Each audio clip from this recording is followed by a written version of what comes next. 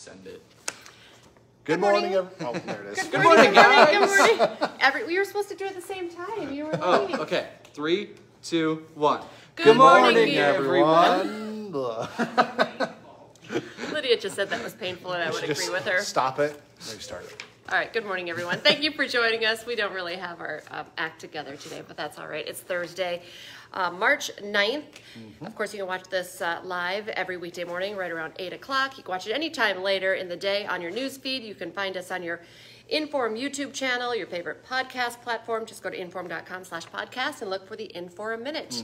We're all over the place. Yeah, just like the weather, kind of. All Yeah. over the place. We have a break right now. It's kind of nice. Not too bad. Lit, yeah, short break. Very short-lived break. A little bit of drifting snow up in northeastern North Dakota, causing a couple of slick spots. But like yesterday, um, any of those slick spots that do develop, most will be melting away because of the sun angle. I talked about that this morning on Yeah. First News. Our same our sun angle today is 38 degrees in the sky. So what that means is if you look in the sky, the sun is much higher. Of course, at the peak, the peak, the solar noon is what we call it. Is when the sun is highest in the sky. With just the intensity of the sun angle, higher the sun angle, the more intense the sun. That's why can get sunburn in summer.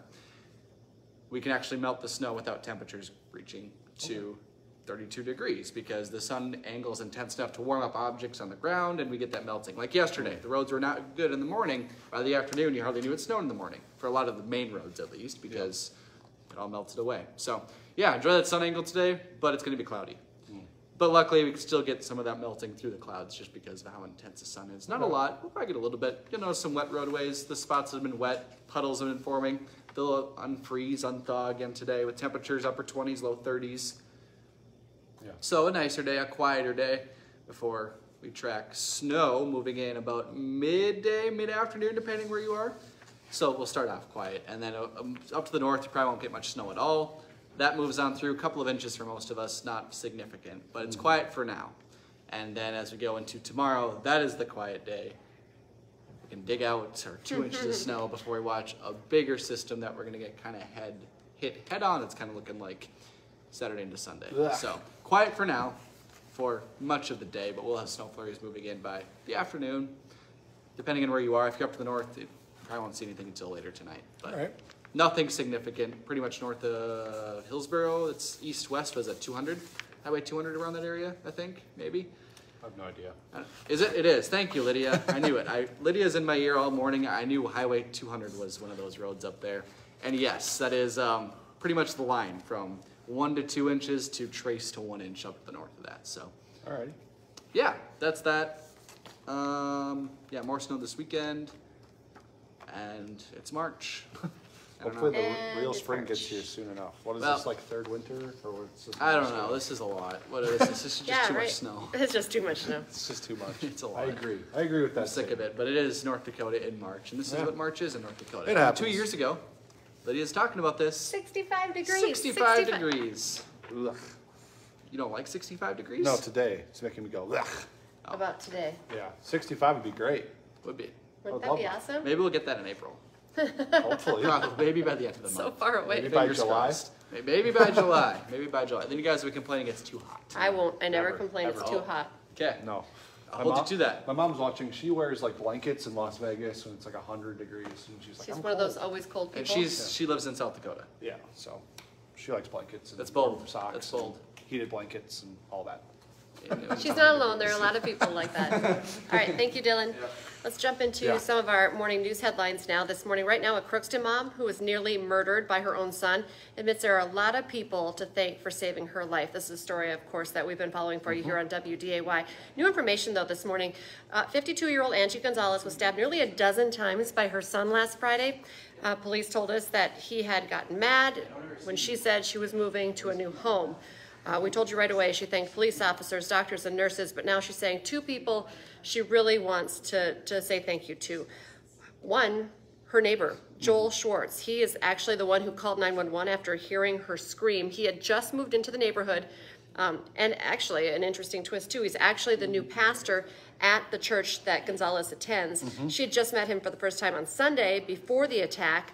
Um, Angie also believes that her faith in God was the main reason she survived as well. So, pretty amazing hearing from her and hearing from the pastor as well as to what he thinks about her faith and, and how um, her faith played a role in her survival. We know right now she has moved from the hospital to the rehab center and expected to go home fairly soon. So pretty Yeah. incredible after being stabbed a dozen times. Yeah, good for her for being able to make a recovery, obviously. All right, uh, North Dakota's former deputy attorney general is accused of threatening a child at a hotel pool in Mandan. 46 year old Troy Seibel is facing a charge of disorderly conduct this morning. Court records show a warrant for his arrest was issued last week, and then yesterday he made a promise to appear in court on March 21st. Court documents show last month Seibel told police that he made that threat after a child threw a football into a hot tub that he was sitting in. Investigators say Seibel was drunk and refused to leave the hot tub when he was asked to by the hotel staff. He also refused to tell police his name until he was put in a patrol car. continue tracking that story for you, of course, uh, getting a lot of buzz.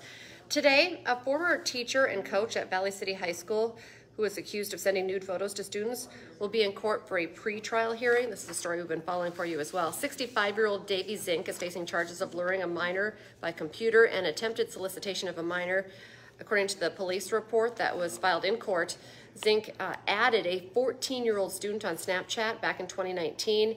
Uh, According to that report, he sent that girl some inappropriate pictures of private areas. Police later interviewed another student who also told them that Zink had sent them inappropriate photos as well. All right, lawmakers in North Dakota are looking to extend their time in office. A new proposal would set new term limits for elected officials, overriding restrictions that voters already approved last fall. Last year, 63% of voters approved a new eight year maximum for those serving in the state House and state Senate, something this new proposal is seeking to change.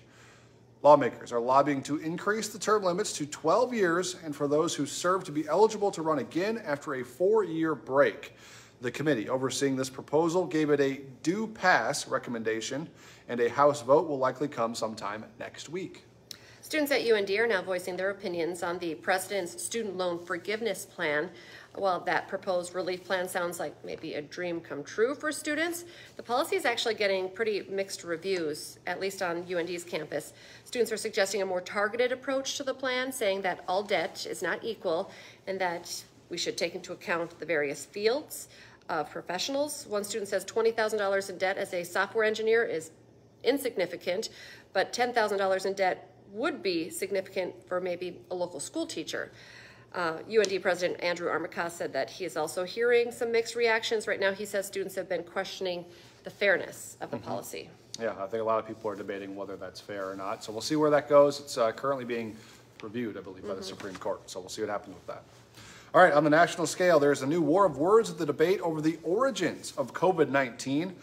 A former CDC director is now taking aim at Dr. Anthony Fauci. ABC reported this morning that COVID was just one subject of a couple that came up during a hearing on the U.S. national security and threats it's facing. The other big subject was social media. And the White House has recently backed legislation introduced uh, on Tuesday by a dozen senators to give President Joe Biden's administration new powers to ban TikTok and other foreign based technologies if they do pose national security threats. And we're starting off some more basketball coverage, North Dakota State High School basketball coverage this weekend. It's the boys and girls Class A basketball. and We're going to be bringing you some live action on our channels. The quarter girls quarterfinals games start at 1 this afternoon on WDAY Extra. I do know that's Cheyenne Mustangs are going to be playing in that game at 1 o'clock. Uh, the boys quarterfinals at 2 on WDAY 2. Tomorrow we're going to have the semifinal coverage of both the girls and boys basketball here, here on WDAY. Mm-hmm. And then Saturday, WDAY will be airing both championships. The girls' championship game will be on Saturday and 8 o'clock for the boys' game. Yes, it'll be exciting to see them all play and compete. And of course, Dom Izzo, I'm sure, is going to be talking all about all the high school basketball this morning on Hot Mic, which is from 9 to 11 on WDAY Extra, as well as And remember, you can get a great deal right now on your InForum.com subscription, 99 cents a month for the first three months. Just go to InForum.com slash subscribe to check out that deal. Yeah, take advantage of it. You can get lots of great local content, sports, weather, local headlines, all that good stuff. Remember, we're going to keep you updated throughout our newscast today as well, starting at 11. We're going to have one at 4, 5, 6, 9, and 10. And then join us again for First News tomorrow morning from 5 to 7. We'll give you updates on any road conditions you need to know about with that new snow coming in. Also, I believe we're going to take a look at uh, the newest flood outlook as well. Yes, so we'll break that down, especially with all this snow. A lot of people are asking about it, so tune in tomorrow morning. Have a great day, everyone. Bye.